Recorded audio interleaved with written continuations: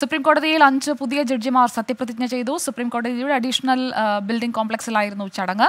Chief justice D Y Chandrachud സത്യവാചകം ചൊല്ലിക്കൊടുത്തു. കഴിഞ്ഞ ശനിയാഴ്ചയാണ് അഞ്ച് ഹൈക്കോടതി ജഡ്ജിമാരെ സുപ്രീം കോടതി ജഡ്ജിമാരാക്കാനുള്ള കൊളീജിയം ശുപാർശയ്ക്ക് അംഗീകാരം ലഭിച്ചത്. ആർ രാധാകൃഷ്ണൻ നൽകും വിവരങ്ങൾ ഡൽഹിയിൽ നിന്ന്. ആർ രാധാകൃഷ്ണൻ കൊളീജിയം ശുപാർശയെക്കുറിച്ചുള്ള ഏറ്റുമുട്ടലുകൾക്ക് ഒടുവിലാണ് ഇപ്പോൾ സത്യപ്രതിജ്ഞയിലേക്ക് കാര്യങ്ങൾ എത്തുന്നത്.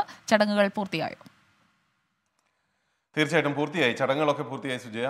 അഞ്ച് പുതിയ ജഡ്ജിമാർ കൂടി വന്നതോടെ സുപ്രീം കോടതിയിലെ ജഡ്ജിമാരുടെ എണ്ണം മുപ്പത്തിരണ്ടായിട്ട് ഉയർന്നിരിക്കുകയാണ്. ഇന്ന് ഈ ജഡ്ജി നിയമനവുമായി ബന്ധപ്പെട്ടിട്ടുള്ള വിഷയം ജസ്റ്റിസ് സഞ്ജയ് കിഷൻ കൗൾ അധ്യക്ഷനായിട്ടുള്ള ബഞ്ച് പരിഗണിക്കാൻ ഇരിക്കെ കൂടിയാണ്. ഇന്ന് ഈ അഞ്ച് ജഡ്ജിമാരുടെ നിയമനവും അതിനുശേഷമുള്ള സത്യപ്രതിജ്ഞയും ഒക്കെ പൂർത്തിയായിരിക്കുന്നത്. കഴിഞ്ഞ ദിവസം തന്നെ ഈ വിഷയം പരിഗണിക്കുന്ന ഘട്ടത്തിൽ കേന്ദ്രത്തിന് വളരെ ശക്തമായിട്ടുള്ള വിമർശനം സുപ്രീം കോടതിയുടെ ഭാഗത്തു നിന്നുണ്ടായിരുന്നു. ആ ഘട്ടത്തിൽ അറ്റോർണി ജനറൽ അഞ്ച് ജഡ്ജിമാരെ സുപ്രീം കോടതിയിലേക്ക് ഉടൻ നിയമിക്കും എന്ന കാര്യം വ്യക്തമാക്കുകയും തുടർന്ന് തന്നെ ഇക്കാര്യത്തിൽ ഉത്തരവിറങ്ങുകയും തുടർന്ന് രാഷ്ട്രപതി വിജ്ഞാപനം പ്രസിദ്ധീകരിക്കുകയും ചെയ്തിരുന്നു. ഇതിന്റെ അടിസ്ഥാനത്തിലാണ് ഈ നടപടികൾ ഇന്ന് പൂർത്തിയായത്. രാജസ്ഥാൻ ഹൈക്കോടതിയിലെ ചീഫ് ജസ്റ്റിസ് ആയിരുന്ന ജസ്റ്റിസ് പങ്കജ് മിത്തൽ പട്ന ഹൈക്കോടതിയിലെ ചീഫ് ജസ്റ്റിസ് ആയിരുന്ന ജസ്റ്റിസ് സഞ്ജയ് കരോൾ മണിപ്പൂർ ഹൈക്കോടതിയിലെ ചീഫ് ജസ്റ്റിസ് ആയിരുന്ന പി വി സഞ്ജയ് കുമാർ പട്ന ഹൈക്കോടതിയിലെ ജസ്റ്റിസ് ജഡ്ജി ആയിരുന്ന ജസ്റ്റിസ് അഹ്നസുദ്ദീൻ അമാനുള്ള അലഹബാദ് ഹൈക്കോടതിയിലെ ജഡ്ജി ആയിരുന്ന മനോജ് മിശ്ര എന്നിവരാണ്